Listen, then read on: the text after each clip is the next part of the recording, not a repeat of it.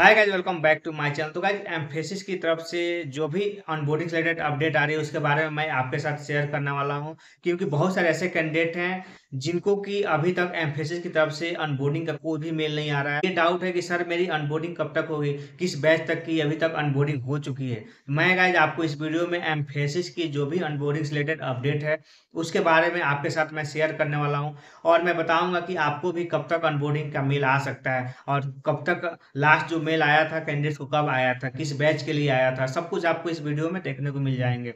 तो गाइज़ अगर आप भी एम फेसिस अनबोर्डिंग का वेट कर रहे हैं तो आप वीडियो को एंड तक देखना। तो गाइज़ उससे पहले अगर आप हमारे चैनल पर नए हो तो चैनल को सब्सक्राइब कर लेना।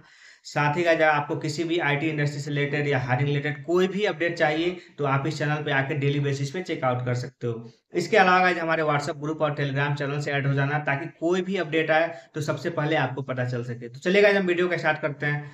तो भाई आप सबको पता होगा कि एमफेसिस जो है 2022 बैच के जितने कैंडिडेट्स को सिलेक्शन किया, उनको अभी तक अनबोर्डिंग नहीं दी हुई है। कुछ ही कैंडिडेट हैं जिनको कि अनबोर्डिंग का मेल आया, अभी तक मात्र दो बैच को ही अनबोर्डिंग उन्होंने कराया हुआ है। इसके अलावा आपका दो हज़ार बाईस के बहुत सारे ऐसे कैंडिडेट हैं, जो है दो के सारे सारे कैंडिडेट हैं, जो कि अभी उनकी अनबोर्डिंग पेंडिंग है। किसी की भी अनबोर्डिंग अभी तक नहीं हुई है। तो गाइज़ मैं आपको इसमें, अगर मैं बात करूँ, अगर आप भी वेट करो अपने अनबोर्डिंग का तो अगर 2022 बैच के हो तो आपको कुछ और वेट करना है, क्योंकि दो बैच की फ़िलहाल अभी अनबोर्डिंग हो चुकी है, उनकी अभी ट्रेनिंग चल रही है। आपका एक लास्ट में नवंबर में एक अनबोर्डिंग हुआ था, और जो अभी पिछला जो अनबोर्डिंग हुआ था, ये जैन बीस तक हुआ था।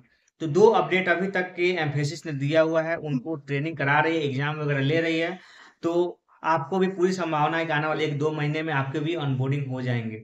क्योंकि ये जो अनबोर्डिंग करा रहे हैं बैच वाइज करा रहे हैं, इतने ज़्यादा कैंडिडेट्स को हायर कर चुके हैं कि धीरे धीरे ही ये अनबोर्डिंग कराने वाले हैं। तो आपके पास अगर टाइम हो तो एम्फेसिस के लिए वेट करो और ना किसी दूसरे अपॉर्चुनिटी के लिए ट्राई करो।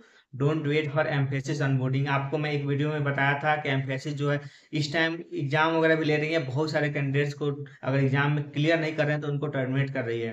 तो उससे बचने के लिए यही है कि और भी कहीं ना कहीं ट्राई करते रहो, क्योंकि उनको एक चांस चाहिए बस आप लोगों को निकालने का। तो पहले यही करेंगे अनबोर्डिंग के लिए बुलाएँगे ट्रेनिंग ले रहे हैं। और मैंने आपको लास्ट वीडियो में बताया था कि कितनी एग्ज़ाम वगैरह ले रही हैं एमफेसिस सब कुछ आप वीडियो में देख सकते हो जाके। एग्ज़ाम से रिलेटेड सब कुछ मैंने एमफेसिस का बताया हुआ है।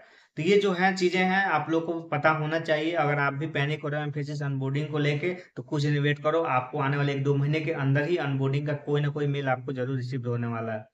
ये जो भी चीज़ें मैं बता रहा हूँ, ये आप लोग को जो भी मैंने पीछे भी बताया, जब जब मैं बताया तब तक कोई ना कोई अनबोर्डिंग का मेल आया ही आया। है तो आप लोग कोई वीडियो लास्ट का देखोगे, जो भी मैं बताया उसके अंदर ही आता है। तो मे भी आ भी सकता है आने वाले एक दो महीने के अंदर। तो आप लोग को थोड़ा सा पेशेंस बना कर रखना है, डोंट पैनिक। तो अगर आपको कोई भी डाउट हो तो आप लोग कमेंट बॉक्स में पूछ सकते हो, या आपको कहीं भी सोशल मीडिया प्लेटफॉर्म पे कहीं भी आप चाहो, डायरेक्ट क्वेश्चन कर सकते हो। तो चलिए गाइस फिर मिलते हैं आपसे अगले वीडियो में। तब तक के लिए जय हिंद, बाय बाय।